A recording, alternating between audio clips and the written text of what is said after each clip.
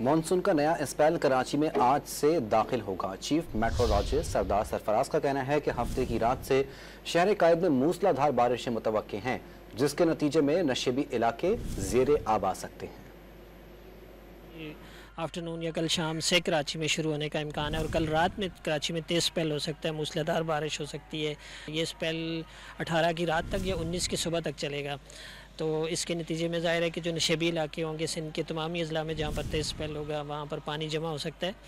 कराची में भी खासी तेज़ स्पेल है। कल रात में इम्कान है और अच्छी बात है कि वीकेंड पे होगा। तो इसलिए उसमें ज़ाहिर है कि प्रॉब्लम जो लो लाइंग एरियाज़ में पानी वानी खड़ा होने या इनंडेशन से हो जाता है तो वो उसका ख़दशा मौजूद है।